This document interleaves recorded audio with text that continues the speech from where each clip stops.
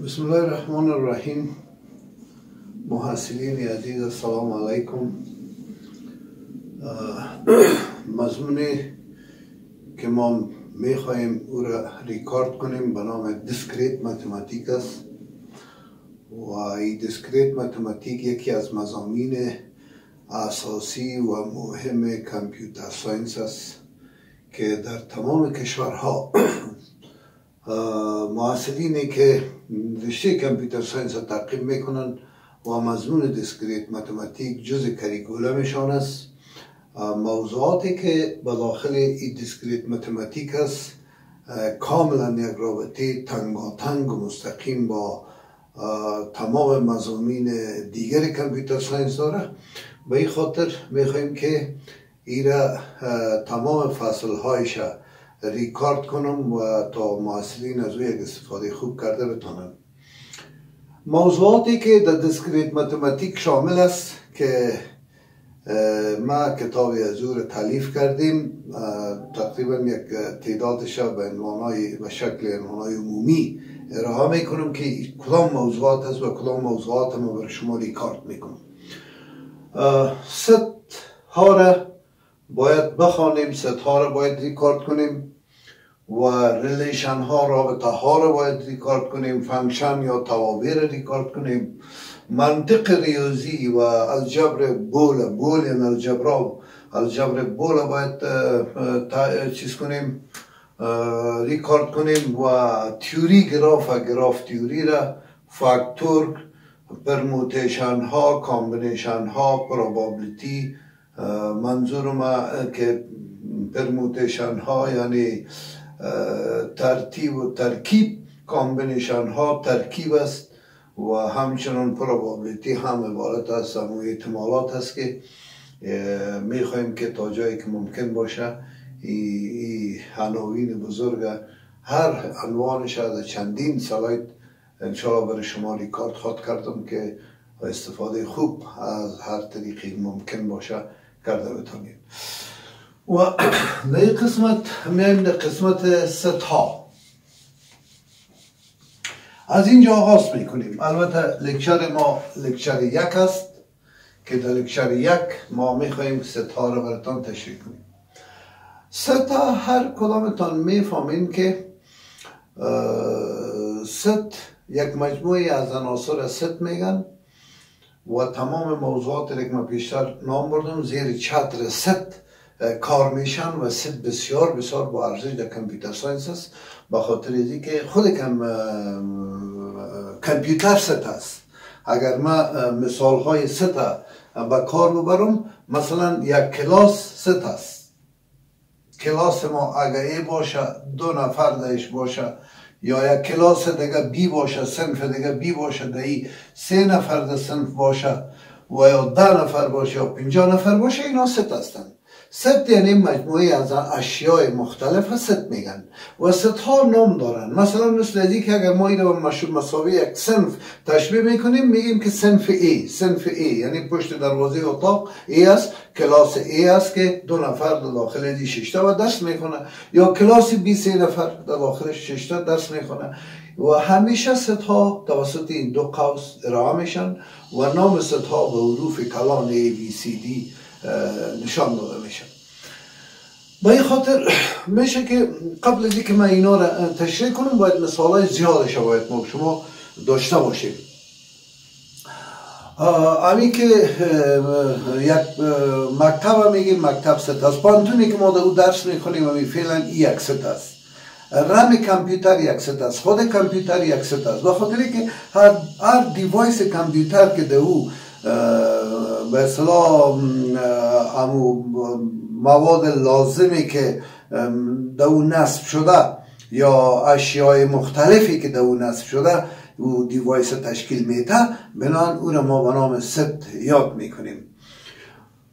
به طور مثال اگر ما بگوییم که set A مساوی یا کلاس A در کلاس A A و B شیشته طبیعی است که ما این تو ارائه کرده می‌تونیم که یعنی شاگرد A یا محصل A در داخل کلاس A است.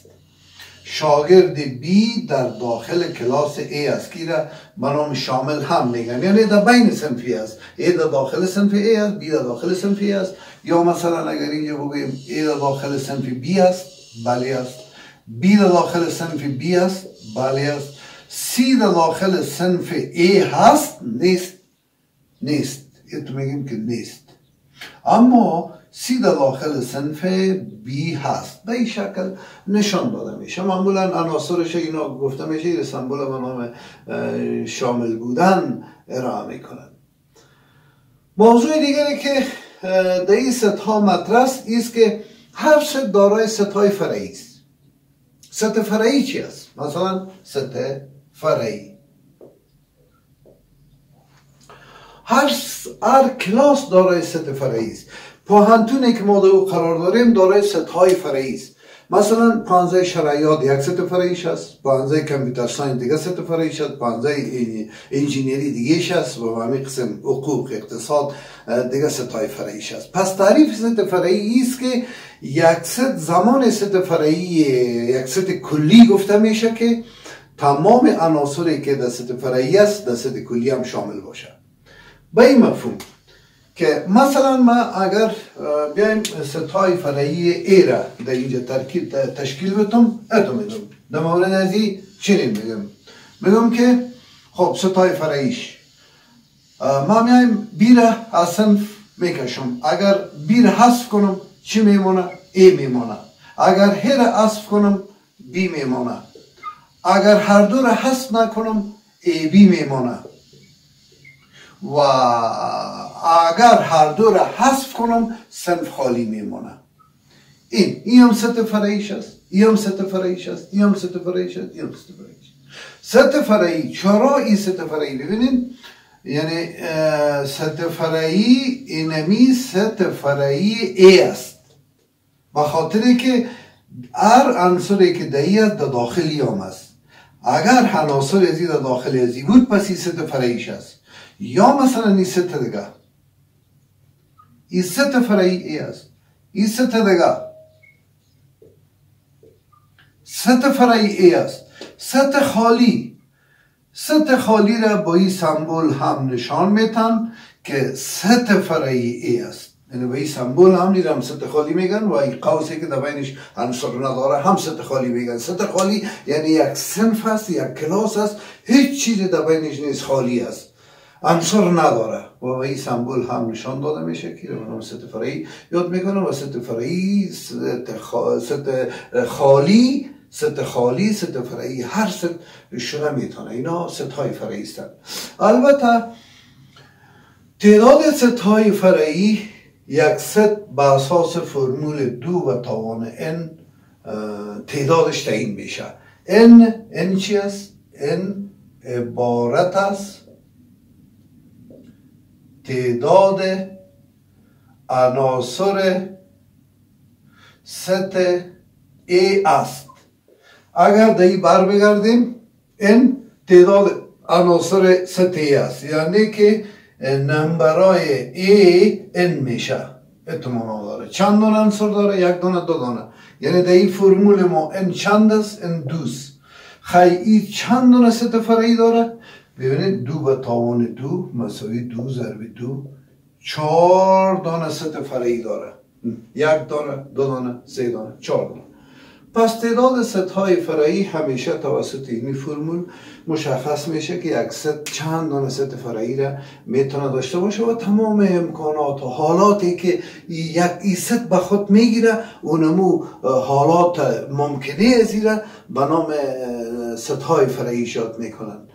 ببینید من در مورد علی باز هم تشریح می‌کنم که را خوبتر بفهمین. اگر بگوییم که B چند دانه ست فرعی دارد حال معلوم می‌کنیم. این فرمول است. این یک دو سه. پس خیلی دو به توان سه. دو ضرب دو چهار ضرب دو هشت هشت دانه ست فرعی داره اگر من هشت دانه ست فرعی زیر نوشته کنم کدام هست اینی دو دانه را پاک می‌کنم A میمونه.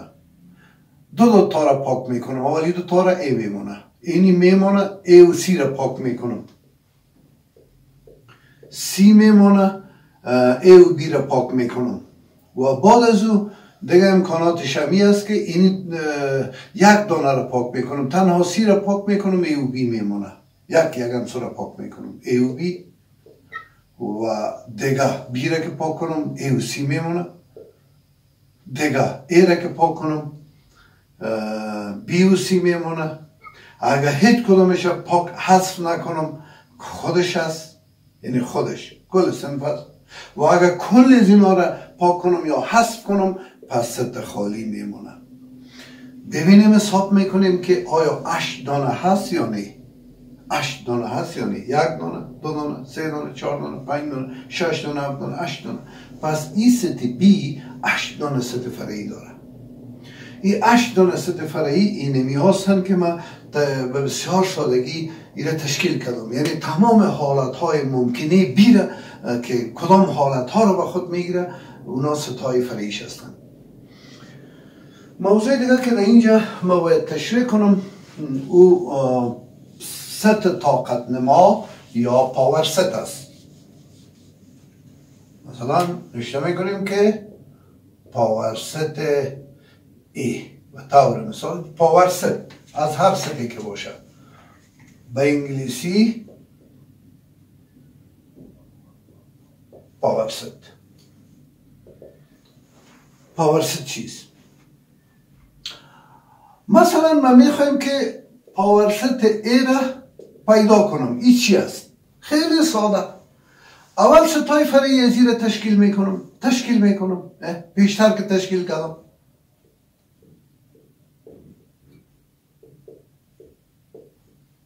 این ستای فرعی شد چند دونه ست فرعی داره؟ چهار داره کلی ستای فرعی را در داخل یک ست دیگه مندازم این میشه power set A power set A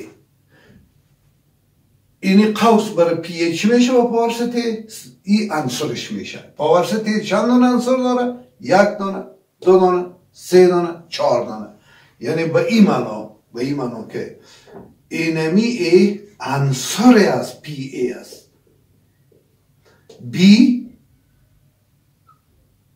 عنصر از P A است. همچنان A B عنصر از P A است. و ست خالی عنصر از P A است. و همچنان امی A. امی A. با A چی میشه؟ با A ست فرعی A است. B. امی B. امی B. با A چی میشه؟ ست فرعی A است. A B. ست فرعی A است. ست خالی ست فرعی A است. این ست های فرعی A را که ما نوشته کردیم عناصر power set میشن ولی با خود A ست های فرعی میشن.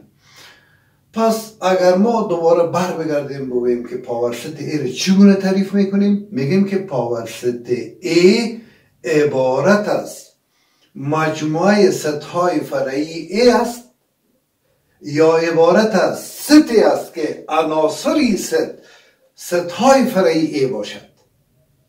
به این شکل ما میشه که یک سوال خانگی برای شما بتم که شما در اینجا دریافت کنین P B ره یعنی سوال خانگی همی که P B را شما پیدا کنین و بگوین چند دان ست فرعی داره power set ش مساوی و چه میشه؟